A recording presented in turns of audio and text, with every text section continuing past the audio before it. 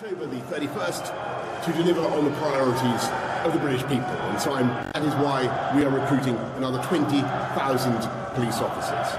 I said I wanted to improve your hospital and reduce waiting times at your GP. And so we are doing 20 new hospitals with a 34 billion more going into the NHS.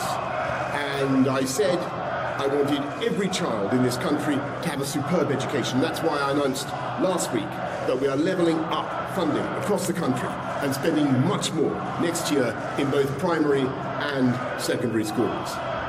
And it's to push forward this agenda on these and many other fronts that we need a Queen's speech in October, while leaving due time to debate Brexit and other matters. And as we come to that Brexit deadline, I am encouraged by the progress we are making. In the last few weeks, the chances of a deal have been rising over the three weeks. They can see that we want a deal.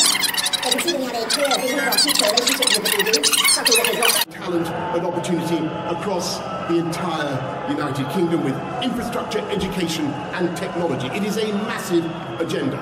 Let's come together and get it done, and let's get Brexit done on October the 31st. Thank you very much. And what happens if you lose in Parliament? What happens if you lose in Parliament, Prime Minister?